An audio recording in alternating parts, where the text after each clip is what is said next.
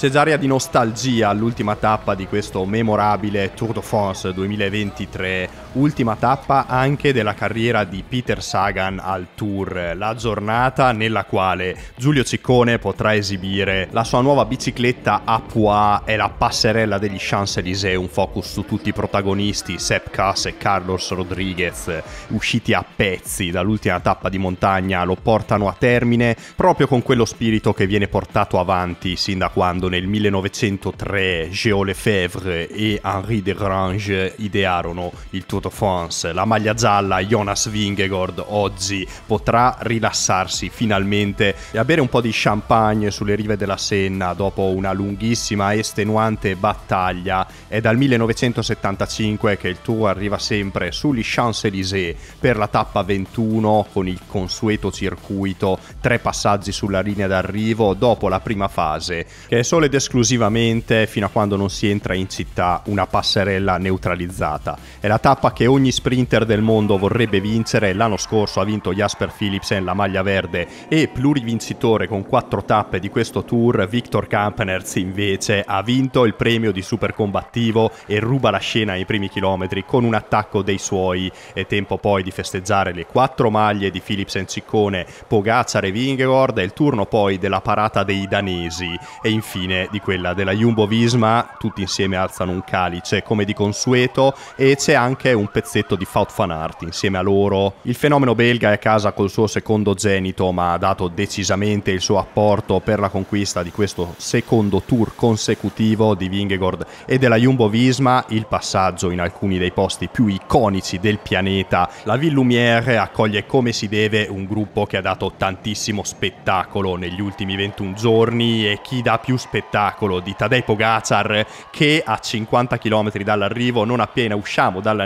neutralizzata, parte all'attacco, sfida tutti, col sorriso, con la lingua di fuori. Anche oggi ha voluto esserci Tadej Pogacar, subito seguito da Nathan Van Oydonk. Dietro di loro si aggiungono un altro po' di passistoni, diventa molto pericolosa la situazione, le squadre dei velocisti sono chiamate sostanzialmente a correre forte per tutti gli ultimi 50 km. Appena vengono ripresi ripartono altri tentativi, è la rumba degli attacchi degli Champs-Élysées con le squadre dei velocisti come Alpes Dökenik, Jaiko Alula e anche la Lidl Trek di Mats Pedersen che devono guadagnarsi la pagnotta o meglio la baguette con questi giri intorno all'arco di trionfo. Per questo terreno che ricordiamo è in pavé, ha qualche su e giù e un paio di passaggi molto tecnici, il gruppo deve stare molto attento perché continua a partire gente fino a pochi chilometri dalla fine, ma è lì la Alpecin, è lì la Lidl Trek con Mattias Schelmos che fa ancora una volta un grandissimo lavoro. La Zaiko porta tutti alla neutralizzazione dei meno 3, ora è ufficiale, Jonas Vingegaard ha vinto il Tour de France 2023, anche se in realtà poi la neutralizzazione riguardava tutti gli ultimi due giri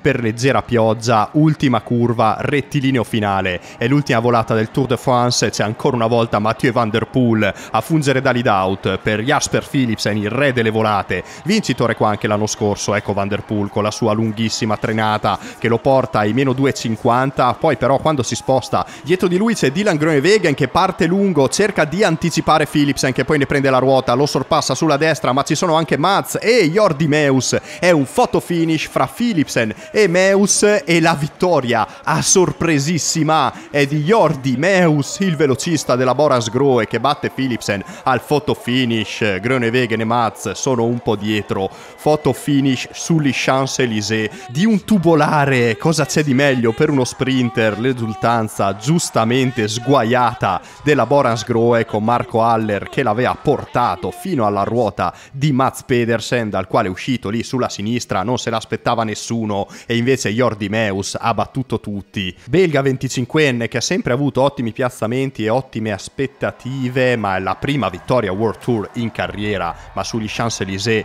vinci solo se sei veramente un duro dopo 21 giorni di gara e su quel terreno difficile arriva la Jumbo Visma in parata con Jonas Vingegaard che viene festeggiato dai vertici della squadra più forte del mondo, che ha dominato anche questo Tour de France, ricordiamo gli insuccessi della Jumbo nei tour precedenti e invece ora ne hanno portati a casa due di fila, Victor Kampenerz è il super combattivo e riesce a salire sul podio degli Champs-Élysées, così come tutta la squadra della Jumbo. Un all-star team, Nathan Van Oydonk, Dylan Van Barle, Tish Benoit, Christophe Laporte, Wilco Kelderman, Sepp Kuss, Jonas Vingegaard e pure Fout Van Aert, che era a casa Tadej Pogacar, vince la sua ennesima maglia bianca, sono quattro con questa, oltre al secondo posto e altre due tappe, ora ne ha 11 in carriera. Al Tour de France, Tadej Pogacar è crollato nella tappa del Col de la Lose, ma ha dato spettacolo anche in questo tour Giulio Ciccone, non sarà Pogacar o ma porta a casa il podio degli Champs-Élysées, la foto in cameretta e la consapevolezza che con questo stesso sistema di punteggi negli anni scorsi avevano sempre vinto uomini di classifica. Jasper Philipsen oggi è arrivato corto così dalla sua quinta vittoria in questo tour, arrivato un po' con la lingua di fuori alla terza settimana probabilmente il fortissimo velocista belga, quattro tappe per lui, un dominio totale sulle volate, oggi non aveva la gamba degli altri giorni, battuto da un grande Jordi Meus e ovviamente il podio finale Jonas Vingegaard, Tadej Pogacar e Adam Yates con la UAE che fa doppietta di podio, sicuramente un'ottima soddisfazione, primo podio in carriera in un Grand Tour per Adam Yates che batte il suo gemello Simon, Carlos Rodriguez, Pelio Bilbao, Jai Hindley, Felix Gall, David Godu e Guillaume Martin completano la top 10 di questo Tour de France con Jonas Vingegaard che stamattina in tutto ciò ha annunciato che correrà la Vuelta in Spagna al fianco di Primo Roglic, vincitore del Giro, per un 3 su 3 di squadra nei GT che nessuna squadra ha mai raggiunto prima d'ora. Questo era il Tour de France 2023, questo era Pietre per GCN. Un ringraziamento e un saluto a tutti. Noi ci vediamo al Tour Fam e ai prossimi video.